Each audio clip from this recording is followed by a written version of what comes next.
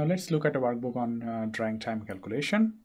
So here is the problem. A porous solid is dried in a batch dryer under constant drying condition. 3.2 hours are required to reduce the moisture content from 35% to 21%. The critical moisture content is 20% and the equivalent moisture content is 4%. Assuming that the rate at falling rate period is proportional to the free moisture, how long will it take to dry the sample to 5%? Now that's a typical scenario where many of the parameters are unknown. However, they have some information that to dry from this moisture content to that moisture content, that many hours are required. Then they need to figure out how much time will be required to dry to another final value of the moisture content. So for case A, 3.2 hours is required to dry from 35% to 21% moisture. Now look at this, the equilibrium moisture content is 4% and the critical moisture content is 20%. So in the first case, it was dried above the critical moisture content. For the second case, you have to dry to a value less than the critical moisture content. Now do remember one thing is that all these values are given in terms of total moisture. So that you need to keep in mind. Now we're given the critical moisture is 20%, equilibrium moisture is 4%. So need to calculate time to record to dry from 35% to 5% total moisture. Now we have this equation Tt equals ms over rc x1 minus xc plus xc ln xc over x2. Now for the first case x2 is greater than xc so we have the simplified equation meaning this term is not there also it's x1 minus x2. However we don't know either of these three ms, a or rc. Now we can estimate the whole term ms over rc from the first case calculation because TT is given for this case and then you can use that for our second case. So one thing remember that we need to convert the moisture content to free moisture. The initial value of the total moisture was 35%. So that's 0.35 and equilibrium moisture is 0.044%. So that gives the initial value of the free moisture to be 31%. So for the first case, the x2 was 0, 21%, so that's 0 0.21, 0 0.04, so that's 0 0.17. And for xc, we have this value 20%, so 0 0.20 minus 0 0.04, 0 0.16. Now if you simply plug in those values, Tt was given to be 3.2 hours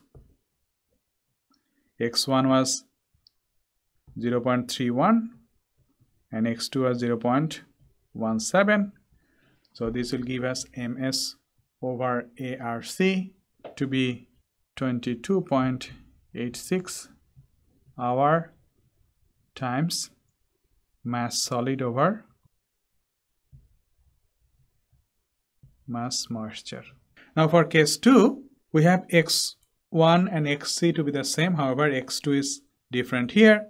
X2 is here 5% so 0 0.05 so in terms of free moisture this will be 0 0.01 now simply we know the value of ms over rc and if we plug in those numbers so that's 22.86 hour and x1 is again 0 0.31 xc 0.16 plus 0.16 ln xc over ln x2 0.01 so that gives a value of 13.6 hour.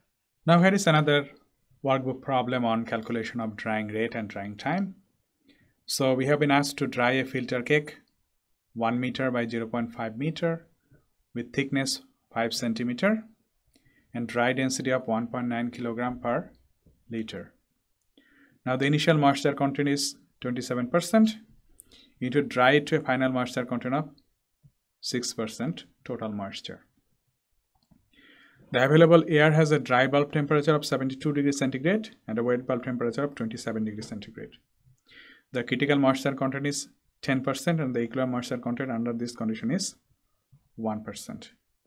The air flows parallel to the cake surface on both sides at a velocity 3 meter per second. Now how long will it take to dry the cake? The drying can be considered to be proportional to the moisture content for the declining rate period. the equivalent diameter can be taken as 0.25 meter. So most of the information are given here and just to interpret some of the information is that the wet bulb temperature the temperature that when air becomes saturated with moisture so that's the condition it's we consider at the surface of the solid where the air that comes in contact with the solid it becomes saturated with moisture so then we consider the wet bulb temperature of the air to be the temperature at the surface of the solid.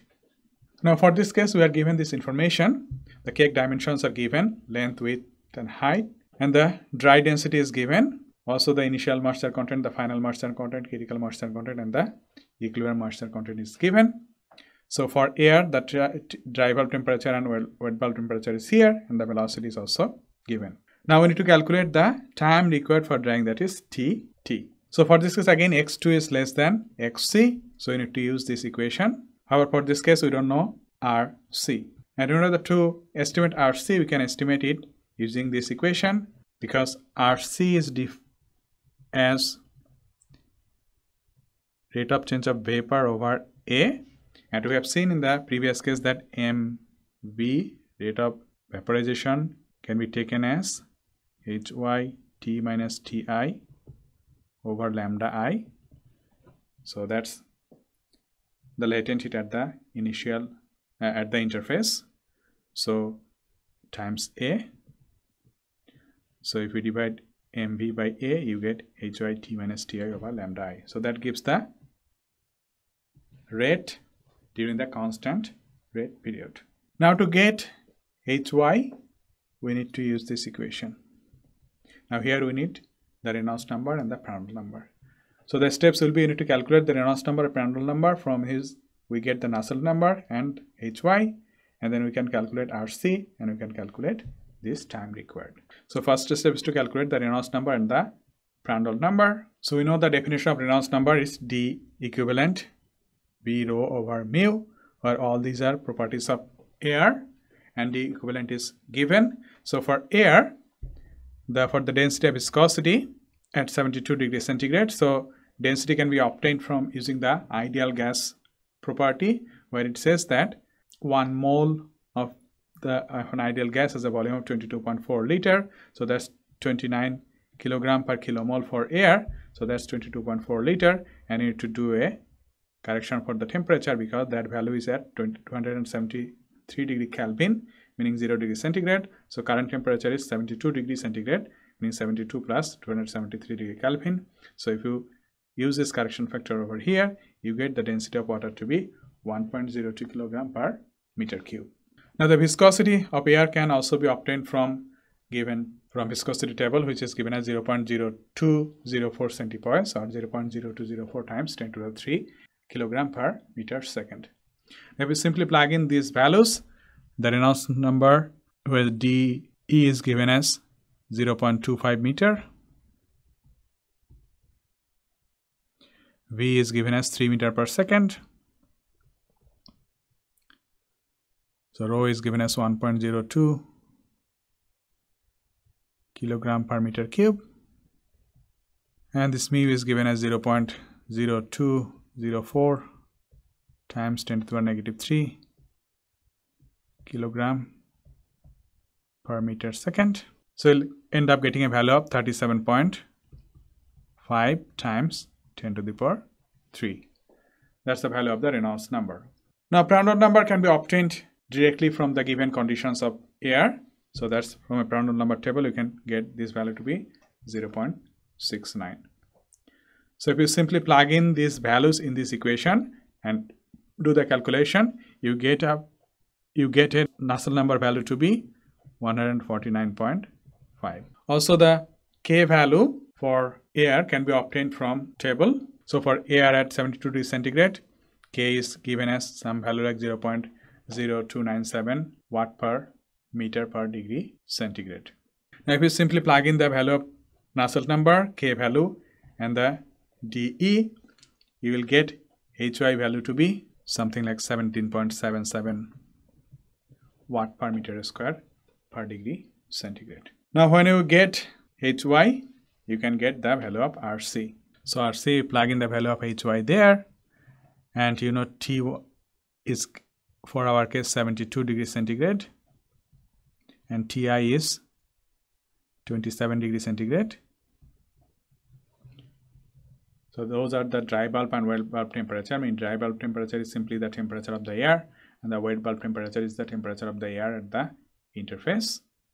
And to get the latent heat for water at 27 degrees centigrade to be this in terms of joule per kilogram and to convert watt to kilojoule per second and you'll get, get up you'll get your RC value to be 328 times 10 to the negative 6 kilogram second per meter square.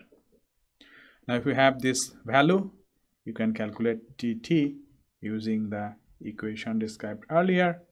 For that you need the solid volume.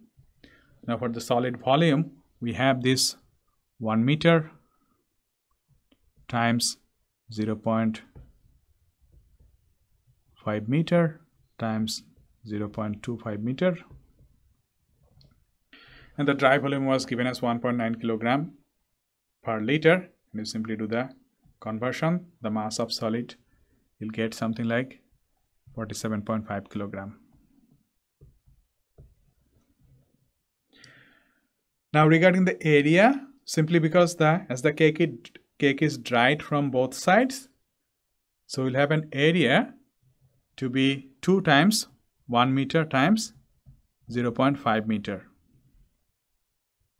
This gives us 1 meter square. So remember that if you have a material something like this so air is being blown from the top side and from the bottom side so those two areas should be calculated giving a total area of 1 meter square. Now for this case also we get the x1 x2 values in terms of the free moisture something like this. And simply plug again this equation you should get a value of 9.22 hour.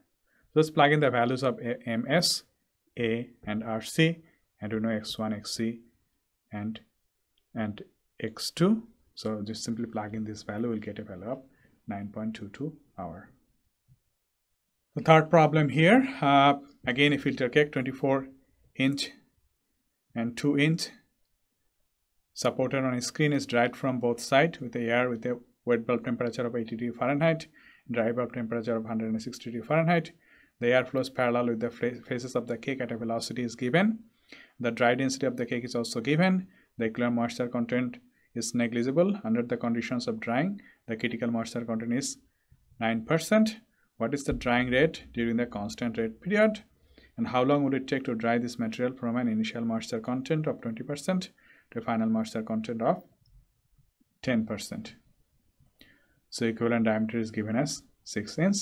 So for this case, just take a look and compare it with the previous problem and try to figure out how to solve it. It's almost a similar problem as the first one. Thank you.